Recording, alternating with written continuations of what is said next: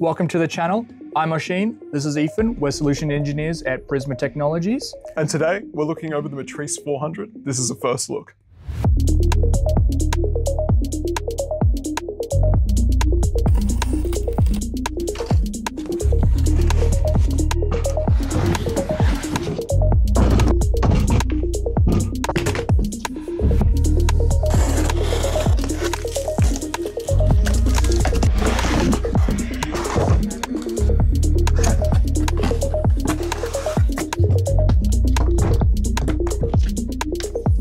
All right, Ethan, let's have a look. Let's take a look.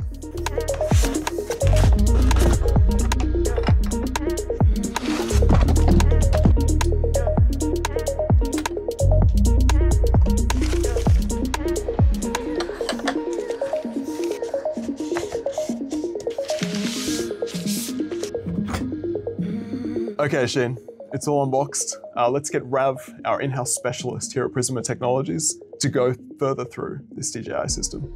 Hey, Rav. Hey, Thanks for coming. thanks for having me. All right, now that me and Ethan have unpacked this here, I can see that there's a fair few differences in the 400 here compared to the previous 350. Yep. Do you mind going over what those are? There's quite a fair bit to unpack. This is DJI's new enterprise flagship drone, so it's packed with enormous amount of features. The way I see this drone, um, having worked with DJI products for a long period of time, this is a bit of a fusion of the Matrice 600 and the Matrice 350 with some additional smarts built in. The reason why I harken back to the Matrice 600 drone is because that had a six kilogram payload. So does this. Right, that's a massive step up from the 2.7 kilogram payload from the Matrice 350 drone. That allows us to now carry seven total payloads. You could have a dual downward gimbal mount, and you can have a third gimbal mount facing downwards at the bottom part of the aircraft there, in addition to some E-port mounts as well. This currently supports all new DJI Zenmuse payloads, such as the DJI Zenmuse S1, V1, the H30 series, the P1, and the L2. That's quite an impressive payload capacity there. Now, I know with the 350, it did have a 55 minute flight time without a payload. Yep. What are we looking at for the flight time here with or without a payload? Bigger payload capacity requires a bigger battery, right? So we've got a 977 watt hour battery on board. So while you're carrying, say, the DJI Zenmuse H30T, you can still attain 59 minutes of straight line flight. We'll have to obviously put that through the paces ourselves just to make sure that that tracks. With the 300 and 350 series before this, we did have the dual battery system that allowed you to hot swap the batteries when the aircraft landed. That prevented you from having to turn off the drone and then turn it back on after a battery swap, which does a very convenient feature. It allows the drone to go back up in the air as quickly as possible. You can still hot swap this battery, even though it's a single battery system. When you pull out the battery from the aircraft, there is an internal capacitor that will keep the GNSS system powered up for 45 seconds. So you have a 45 second window to be able to swap in a fresh battery. So if you can do that like a ninja within 45 seconds, you'll be back up in the air very quickly. Yeah. We now also have the BS100 battery charging station, and this doubles up as a carrying case for your batteries. It can carry three TB100 flight batteries in it. It has two charging modes, a rapid charge mode that will charge your battery from 0 to 90% within 45 minutes, or you could use silent mode to charge your batteries, which will take 110 minutes to charge your batteries from 0 to 100%. I can see that they've redesigned the battery there, going from two to one now. I can also see a few other things different with the airframe, including is that a LiDAR up there? Yeah, so that's a horizontal rotating LiDAR. It excels at long range and it detects very small objects. It's ideal for picking up power lines at a bit of a distance, which is supplemented by the drone's augmented reality system that will notify you of an oncoming power line. We've also got millimeter wave radar on the aircraft as well, so there's built-in radar into the front shell of the aircraft there and then on the arms. We've also got uh, omnidirectional fisheye full color obstacle detection cameras. Right, so all these systems work in tandem to be able to detect obstacles and provide you additional safety even in low light conditions because we now have millimeter wave radar as well as LiDAR to supplement those darker scenes. So you've got 24-7 protection from obstacles. Also supplement the visioning positioning of the aircraft in GPS denied environments. So you said that the omnidirectional vision sensors are all in color now, right?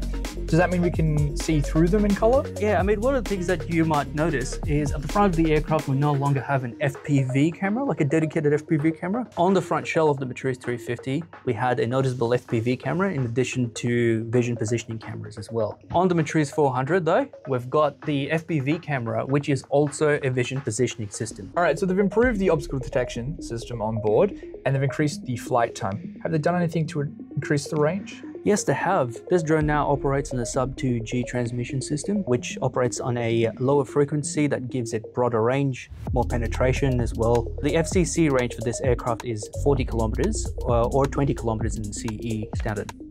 The Matrice 400 can also be used as a relay. So if you're using two drones, for example, two Matrice 400s, you could use Matrice 400A as a relay. That's passing on the signal from your remote controller over to Matrice 400 number two. We've seen with some of the recent DJI products that have included a protection rating. Does this follow that trend? Yeah, like the Matrice 4D and the Matrice 350 before it, this does have an IP55 rating and an operating temperature range of minus 20 degrees Celsius to 50 degrees Celsius. That sounds like quite a robust platform there. What else can you tell me about the reliability and safety of this drone?